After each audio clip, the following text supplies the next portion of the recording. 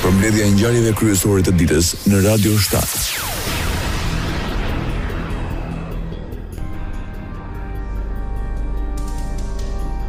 përcillet për në banesën e fundit trupi i mbretëreshës Elisabeta e dytë. Pas ceremonisë zyrtare në kishën Westminster, ajo prehet pranë burrit të saj princit Filip. Të pranishëm në këtë ngjarje ishin krerët më të lartë të shteteve, ndërsa mijëra qytetarë qëndruan në rrugë në nderim ndaj monarkes britanike. Ajo ndërroi jetë në moshën nëntëdhjetë e gjashtë vjeçare. Në vijim ju ftojmë të ndiqni një profil të Mbretëreshës Elizabeta e Dytë, gruas që qëndroi më gjatë në fronin e Mbretërisë së Bashkuar. Mbretëresha e Anglisë, Elizabeta e Dytë, lindi në 21 prill të vitit 1926.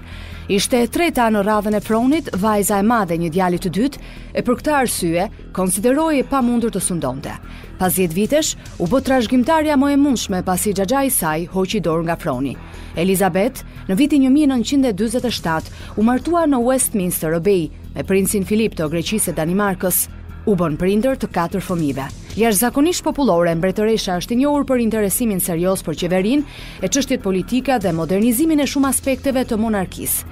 Ishte një nga gratë më të pasura në botë, Por mbretëresha Elizabeth në nivel personal e donte thjeshtësinë. Përgjatë shumë viteve, u ndikua nga nëna e saj, që rrënjosi tek ajo një besim të devotshëm të krishterë. Në kohë të vështira, mbretëresha Elizabeta e dytë gjente forcë duke u mbështetur tek shembulli i Krishtit. Monarkia britanike më e gjatë në histori, me 63 vite në fron, do të mbahet mend si një nga personat më me ndikim në botë. Me vdekjen e mbretëreshës së Anglisë, froni i kaloi djalit të saj, Charles III. Radio shtatë, zëri pozitiv i qytetit. Kriza e energjisë elektrike do të prekë edhe spitalet në Maqedoninë e Veriut. Masat për kursimin e energjisë elektrike kanë prekur edhe sistemin shëndetësor.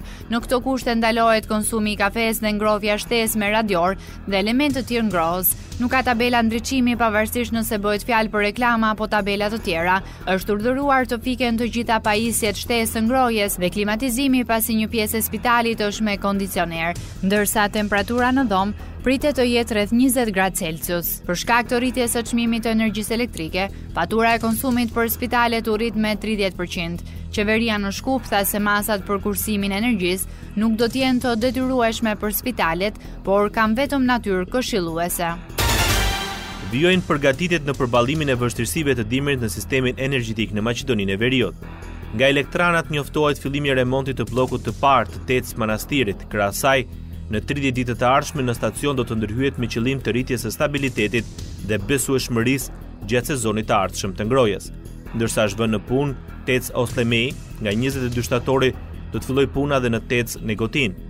Pas përfundimit të remontit të bllokut të parë, janë planifikuar remonte dhe në bllokun e dytë, ndërsa blloku i tretë pritet të vihet në funksion në fillim të muajit nëntor. Opozita maqedonase akuzon kryeministrin për shmangie të qëllimshme të shërbimit të detyrueshëm ushtarak, referuar ngjarjeve të vitit 2001. VMRO deklaron se kryeministri nuk i është përgjigjur thirrjes për t'u përfshirë në armatën e ushtrisë. Ata kanë bërë publik një dokument që e shpall të paaftë të përhershëm për të kryer shërbimin ushtarak. Në këto kushte VMRO DPMNE-ja kërkoi edhe dorëheqjen e kreut të qeverisë. I menjëhershëm ka qenë edhe reagimi i kryeministrit. Sipas Dimitar Kovaçevskit, opozita po e keqpërdor një ndërhyrje kirurgjikale që i ka pasur 20 vite më parë. Sipas shefit të qeverisë, ai asnjëherë nuk i ka ikur detyrimit për shërbimin ushtarak. Nuk habitem për të gjitha gënjeshtrat e tjera, shpifjet, lajmet e rreme dhe manipulimet nga VMRO DPMNE-ja, Ato nuk ndryshojnë dhe skandalet në qytetin e Shkupit vetëm konfirmojnë se partia jo vetëm që nuk po reformohet, por dhe po kriminalizohet, tha kryetari i LSDM-së. Anëtarët e sapozgjedhur të Këshillit Gjyqësor të Republikës së Maqedonisë së Veriut, Mirjana Radevska Stefkova, Zoran Gerasimovski, dhe Ivica Nikolovski bëjnë betimin para kryetarit të Kuvendit Talat Xhaferi para marrjes zyrtarisht të detyrës. Gjyqtarët hynë në Këshillin Gjyqësor pasi kanë marrë mbështetjen më të madhe nga kolegët e tyre në zgjedhjet e 14 shtatorit. Ata do të zëvendësojnë tre anëtarët e mëparshëm të Këshillit Gjyqësor, Kiro Zdraevs, Gordana Spirevska dhe Zoran Teofilovski, të cilët dolën në pension. Arsimtarët vijojnë grevën në Kosovë. Mungesa e një marrëveshjeje mes qeverisë së Kosovës dhe sindikatës bëri që nga 25 gushti mësimdhënësit të ndërpresin punën. Sindikata e arsimit kërkon nga ekzekutivi 100 euro deri në miratimin e ligjit për pagat në mënyrë që të përballohet inflacioni. Qeveria kundërshton me argumentin se nuk e mundësojnë kornizat buxhetore. Javën e kaluar, takimi mes kryeministrit të Kosovës Albin Kurti dhe Rrahman Jasharajt, kryetarit të sindikatës nuk solli marrëveshje. Për këtë çështje, pas presidencës, edhe avokati i popullit ka nisur ndërgjegjësimin, por sipas Arbërie Nagavcit, ministre e Arsimit, SBASHK nuk pranon asgjë. Opozita në Kosovë fajëson edhe një herë kryeministrin për dështimin e negociatave për ndalimin e grevës me arsimtarët. Shefi i grupit parlamentar i PDK-s, Kujtoj se janë rreth 320 mijë nxënës të cilët nuk po e vijojnë mësimin dhe rreth 30 mijë mësimdhënës të cilët s'po vazhdojnë punën e tyre. Po hyn në javën e 4 që mësimi në Republikën e Kosovës nuk po mbahet. Pra janë rreth 320 mijë nxënës të cilët nuk po e vijojnë mësimin, rreth 30 mijë mësimdhënës të cilët nuk po vazhdojnë me punën e tyre. Kjo është e papranueshme dhe është e papranueshme kryeneçësia e kryeministrit Kurti, i cili është përgjegjës direkt për këtë situatë e cila është shkaktuar pra në arsimin në Republikën e Kosovës. Në një konferencë për shtyp, Abelard Tahiri i bëri thirrje kryeministrit dhe ministres së Arsimit, Arbërie Nagavcit të gjejnë urgjentisht një zgjidhje. Albin Kurti mbrojti investimet e qeverisë në arsim duke i dhënë në këtë mënyrë përgjigje opozitës për kritikat e saj ndaj mënyrës se si qeveria po përballet me sindikatat. Kryeministri i Kosovës, në prani të nxënësve nga Kosova, Shqipëria, Gjermania, Franca dhe Maqedonia e Veriut dhe ligjërues nga gjithë Europa në hapjen e Kampit Veror Ndërkombëtar 2022 kujtoi se Qeveria e Republikës së Kosovës rriti buxhetin për arsim me 12%. Ka bërë arsimin publik falas për nivelin bachelor dhe master dhe ka ndarë mbi 3000 bursa për studentët e dalluar për studime brenda dhe jashtë vendit. Rajoni. Alarmi për financimin e partive nga Rusia me synim ndikim të mundshëm në stabilitetin e vendit ka nxjerrë në pah nevojën për një reformë urgjente dhe transparencë të partive politike. Kreu i KQZ-së, Ilirjan Celibashi është i bindur se prezantimi i të dhënave online do të rrisë transparencën. Ndryshimet duhet të konsiderojnë vendosjen e rregullave për financim edhe nga palë të treta. Të dhënat kryesore për raportet financiare të partive do të bëhen online. Stafi i KQZ-së ka nisur prej kohësh nga puna për të dizenjuar termat teknikë të kontrollit dhe auditimit, si dhe publikimit të të dhënave, tha Celibashi. Partia Socialiste e Shqipërisë paralajmëron shpallje non grata edhe nga ana e BE-së të ish kryeministrit Sali Berisha.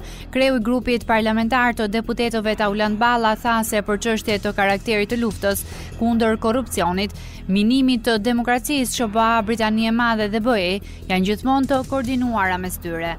Ka një iniciativë fakt tashmë të depozituar në Parlamentin Europian, ku kërkohet që personat të cilët janë shpallur non grata nga Shtetet e Bashkuara të Amerikës.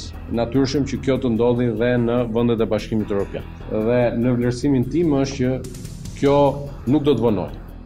Në lidhje me çështjen e financimeve të partive politike, Balla u kërkoi edhe një herë të rritet transparenca.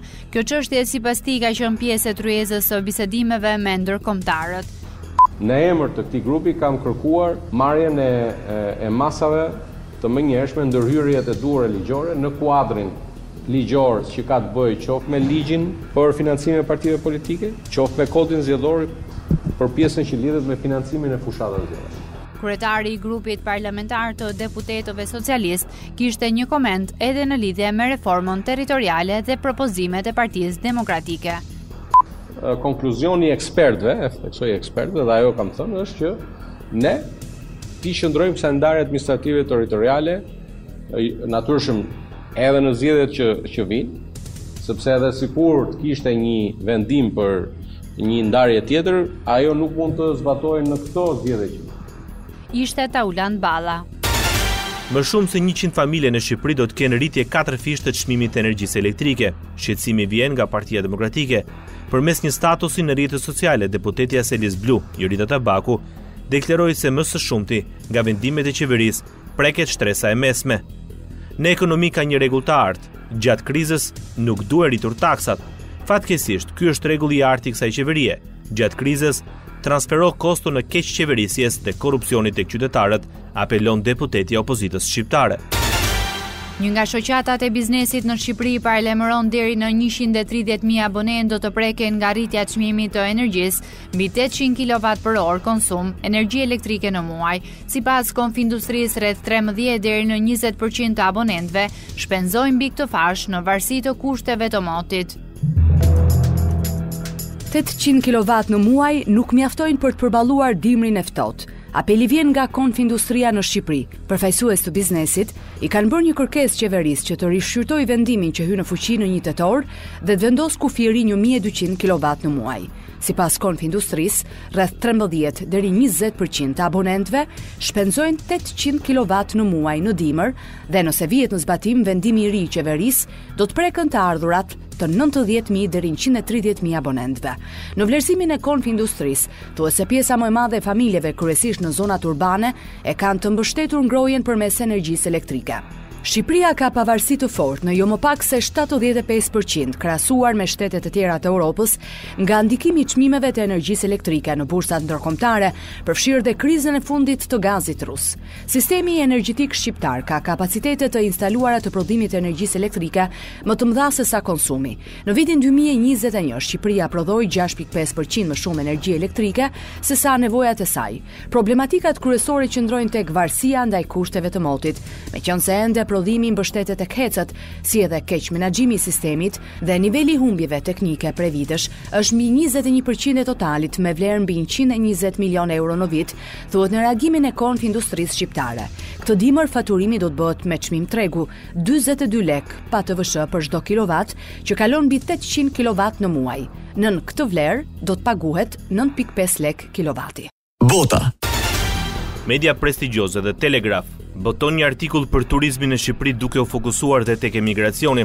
Referuar deklaratave të kryeministrit Edi Rama, gazeta britanike shkruan për thirrjen e kreut të qeverisë ndaj popullit dhe ndalimin e varkave në kanalin anglez, ndërsa rreth 2000 veta janë grumbulluar në veri të Francës. Zyrtarët e forcave kufitare thonë se shqiptarët tani përbëjnë rreth 60% të mbritjeve, 100 herë më shumë se numri i vitit kaluar, nga vendi ballkanik.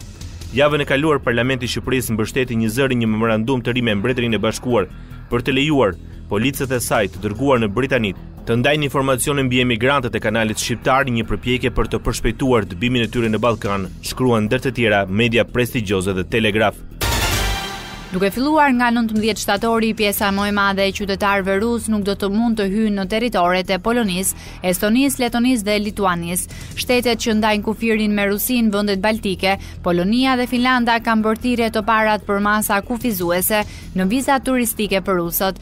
Krahas tyre edhe Zvicra do të pezullojë procedurat e thjeshtëzuara të vizave për rusët. Polonia dhe shtetet baltike thanë se ndalimi nuk përfshin disidentët politikë, rastet humanitare dhe një sërë rrethanash të tjera, si misione diplomatike ruse dhe lidhjet familjare, Më tridhjetë e një gusht, BE pezulloi marrëveshjen për viza me Rusinë, si një hap i parë i domosdoshëm. Vendet e BE-së nuk kanë arritur të pajtohen për një ndalesë totale për viza turistike për rusët. Ministria e Mbrojtjes e Mbretërisë së Bashkuar paralajmëron për shtimin e sulmeve ruse ndaj objektivave civile në Ukrainë. Përballë pengesave në front, Rusia besohet se ka zgjeruar vendet që dëshiron të sulmojnë në mënyrë që të minojnë drejtpërdrejt moralin e popullit dhe qeverinë ukrainase, tha Ministria e Mbrojtjes. Sipas raporteve të Ukrainës, Rusia bombardoi qytete në pjesë të ndryshme të vendit gjatë natës.